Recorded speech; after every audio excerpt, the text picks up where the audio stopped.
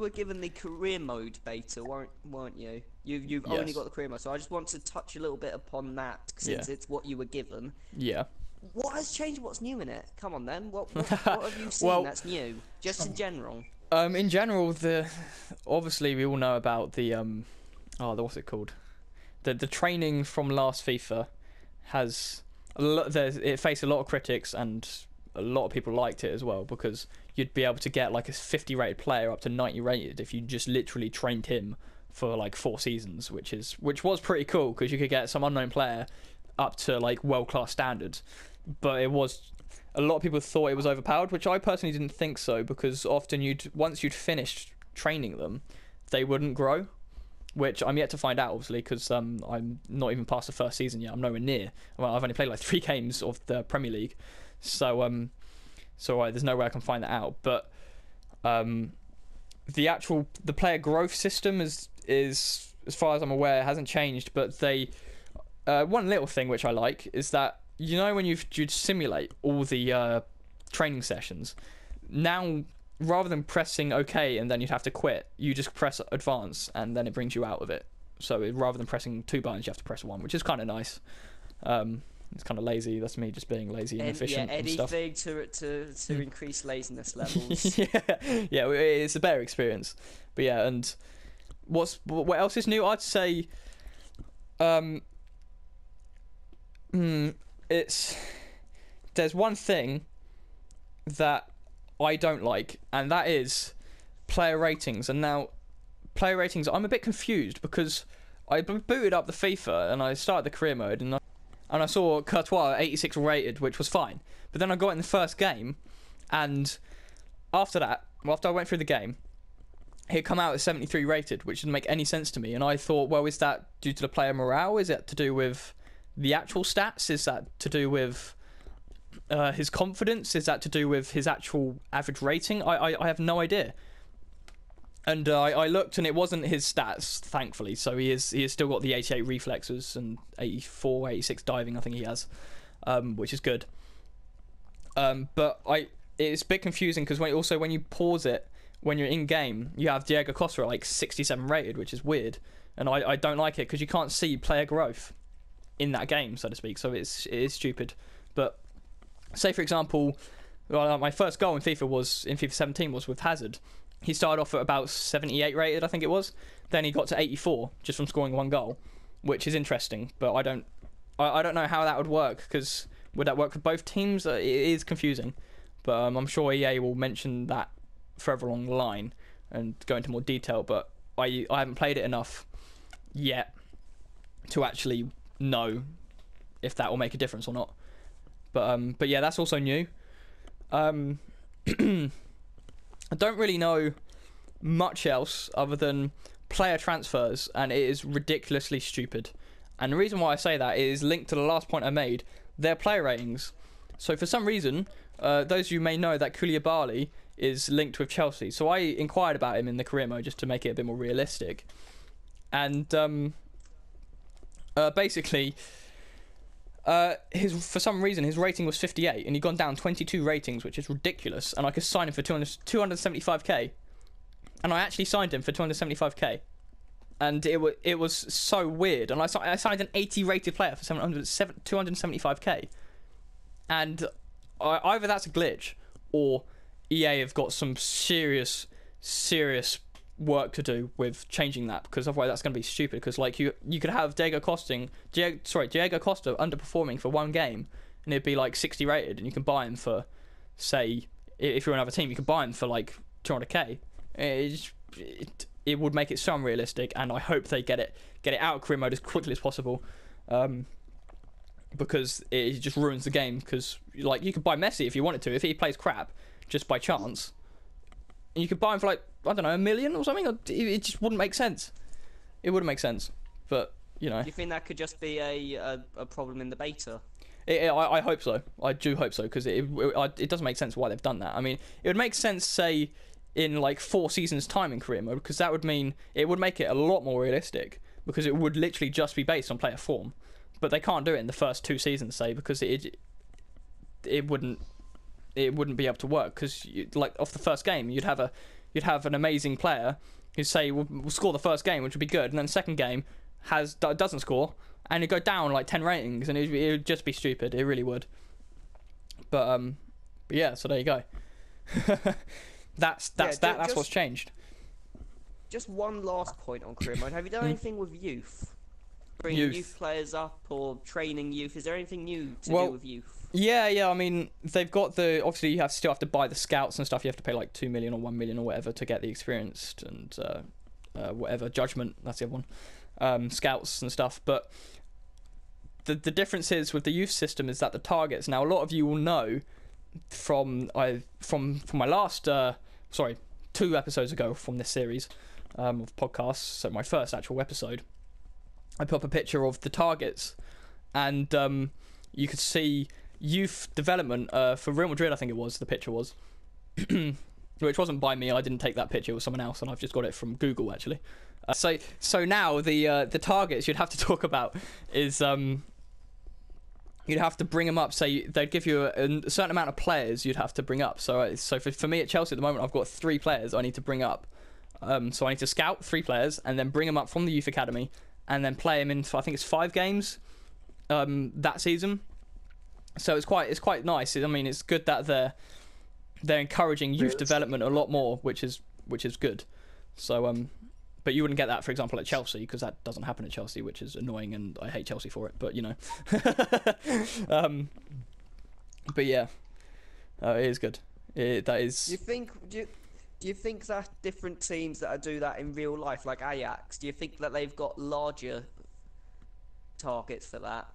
Do you think Well, you you would think so. realistic for that You would you would think so, yeah. Because for for Chelsea at the moment, is it's my um, it's lowest priority uh, target at the moment, and my highest is uh, win the Champions League within two or three seasons, I think. Uh, might be four.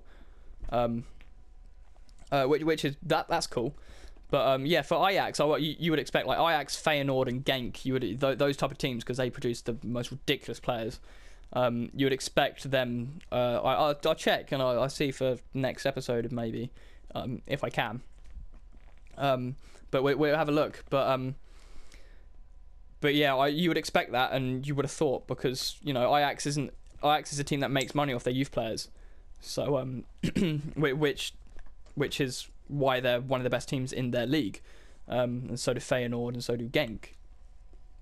Um, but yeah, so I, I, you would expect that the lower league teams would focus rather than on their winning the league within however many seasons. You would hope that they'd bring up youth development. That would be more of a critical target for them rather than lower priority like Chelsea would be, for example. So yeah, that That, that's, that's new with targets as well, isn't it? It's Yeah. no longer a, a one season target. You've got a target that can be achieved over many seasons. that is correct, and it is very good. So you no longer have to play career mode and win the and play as Arsenal, Chelsea, United and win the Premier League every single season. You can try and make it a bit more realistic. yeah, well, I think I th- I th- I th- I think it's only for the Champions League because I I I, I am expected to win the FA Cup, the Capital One Cup, and the league, um, in the first season, which is which is weird, but um, but yeah, yeah, it is mental. It's mental, mate. but yeah. So, any any other questions? Yes. Can I shit myself like Gary Lineker on the pitch? um, um, no. but I would like to see it. um, yeah, that'd be good. In, in pro career mode, just play for England. I just take just have a shit on the pitch. I don't need to add that in FIFA. That that would be great. Yeah, yeah, yeah, and a dive button and that. Yeah, that'd be good. That would be good. But, um, yeah, okay. Is that what's happening? Question to ask: What is happening for the second episode of the podcast? oh the second episode? Well, well, we have a bit of a uh, surprise, and I will put a video up of a clue. Of what's going to happen. So the next ep- so the next episode that will be uh, broadcasted, sorry, not broadcasted, uh, put up on my channel will be a clue, and uh, just to say, man. yes. Just to say at the end of this video, mhm. just to say, you get to use every single game mode at the last three, three, um, three days before the beta ends. yeah. Yeah, I just thought if you didn't know, just Oh, I see. Oh, I, I see. You're telling me that. Oh, um, Yeah, that'd be pretty cool. But um, that'd be interesting. I'm in London next week, which is awkward. But um, um, which Sorry, is Matt, I'll do it for you. um, I can't do that, you know that. But um, but um, but yeah, the, the, oh, it's funny because with, with this beta thing, the amount of people that have said to me on like pro clubs and stuff, oh yeah, give me give me your details and stuff. Oh, let me play, let me share play, and it's like, no, I can't. It's like it's illegal. Like, uh, Yeah. what, what was it? We were in the Yeah. chat earlier, and we saw people. Who was it that was broadcasting? Someone was it Dan? Like loads. Yeah, he's on YouTube. Oh, there were plenty of people broadcasting Mm. and putting stuff on YouTube, that and most of the videos were being taken down straight away from EA copyright. Yeah, yeah. What was what was it, Dan? You said that someone commented, um, uh, uh reported for uh copyright infringement or something, Yeah, didn't you, on the for- channel? yeah. he stopped broadcasting. it's just like, oh god.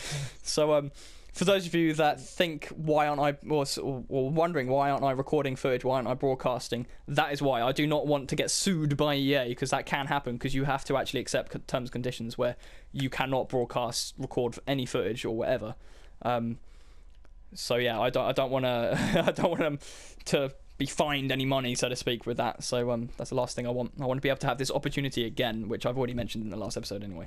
Um, but yeah, so um, we must have one more question, surely, before we wrap more this up. question.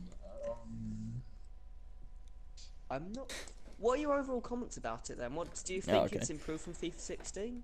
Uh, Yeah. yeah, I think I think it's a massive improvement. Personally, I, I, I do think it's a genuine step up. I mean, with what was it? What was the the the, the FIFA that went? f- Was it FIFA 14 that went from FIFA that went from PS3 to PS4?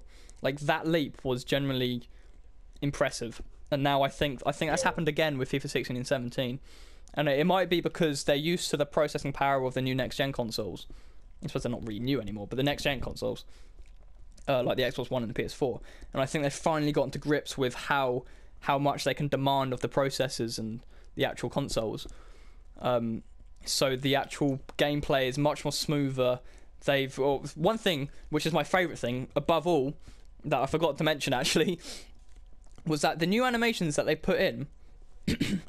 they have done the main animations like they've added new animations completely um, as in like big ones so for example goalkeeper saves like f- from when the shot is hit there will be a new animation for the goalkeeper to save it uh, which is fair enough and which they always do for example with other players as well in that scenario um, but what they have done is added lots of little new animations like stuff that you don't entirely notice but it makes a big difference because a lot of the time you'd get your players to flinch maybe and like say if you gave your player a command say you'd you're running one direction then you say sprint left all of a sudden. They'd literally flinch and then sprint left and you'd see them there wouldn't be any in between animation because basically if we were to do that in real life our our wrist could break or something. It would it wouldn't like the laws of physics stop us from doing that whereas now it's more realistic. They've they've added the little inform- uh, the little informations animations to make it more fluid in the way they run around, the way they change direction, the way they change feet, and the way they dribble, and just the rate, the way they handle the ball, and just all the things. The way they run could be improved, I think, but that's always dodgy with the the betas and demos and stuff. But um, because they always need to get that right. But um, but overall, I, I I generally think it's a massive step up from FIFA 16. I really do, really do. And I, I can't wait to try pro clubs as well because that'd be amazing in VFL, especially with the low driven shots. Because if, if if we're playing if you're playing an attacking position and the keepers don't have their new animations, they are screwed. Hmm. so because you can put ridiculous. Oh yeah, another thing, you can the layoff shots are a lot more powerful now. When you put the shots when you okay in real life, I'll start from the beginning. In real life, when you the layoff shots when people shoot from layoffs, they're they're they're able to get the shot a lot lower with a lot more power and you can't do that on on FIFA 16. You you put more power on it from first time shots, and it would sky. Well, we wouldn't sky, but it might if you put loads of power on it, but it would go higher up. You wouldn't be able to keep it low on the ground. Whereas now, like real life, they the players change their technique, the way they hit the ball, the angle they hit the ball, and you can keep it down first time. And it is ridiculous how much power you can get on it, and it, it, it is great. So as, I- as I said again, rest in peace, keepers, uh, for VFL next season. But um, but yeah, overall brilliant. And uh, I, I think I think that is that. Are we good to wrap it up here? I Yes, that's we it. are. Yeah, for anyone Excellent. who's made it this far into this video, congratulations. but um, but yeah, um, okay, so that is that, and uh, yeah, watch out for my next video, which will be a clue on the video next, and it is a, it is a good thing that um, you might not expect actually for uh, us gamers. Um, but yeah, it is a clue. Uh, there is a clue, clue coming, and uh, I hope I hope that you'd all uh, watch out for that. So um and yeah. Anyway, so guys, do you have anything to add before we wrap it up? Yes. What? I'm doing a giveaway on my channel. Go check it out. all right. Okay, a little shout out there. stuff around it. Yeah, yeah. All right. Anything from you, Chuck? Uh, no. Uh, well, I will be taking over some of the VFL videos now, so you'll see a bit more of me. Oh yeah, so that that's VFL related, not uh, FIFA 17. Um, but yeah, so I've actually given Chuck more privileges on my channel. So uh, rather than you get the intro, like the intro today was uh, would have been uh, with me, uh, my intro, and then uh, I think the next VFL video to go up is actually Chuck's one, and his intro will play. So um, we, we'll be hosting it differently. Basically, the host of the the recording gameplay will be different. It's in English subtitles. You do need English subtitles Yeah, Alright. there will. I, I will try and add in subtitles next time. I okay, that, that's a bit of a spoiler, um, which you guys will understand when Chuck releases his video. But anyway, uh, thank you so much for watching this vodcast. Um, it's really a podcast. You didn't really need to watch the video, but um, I've just just done FIFA 16. If you made it this far, guys, thank you so much for watching. Um, please like, comment, and subscribe. Share this video if you can. Let's get it out there. Let's sh- tell your friends about the new FIFA and uh, the new information because yeah, all your friends. but yeah, tell everyone, tell everyone. Don't care, just do it. Get me out there. Um, but yeah, uh, it'll be it'll be be awesome to see. But anyway, yeah, please like, comment, and subscribe and share. And uh, I'll see you guys again soon.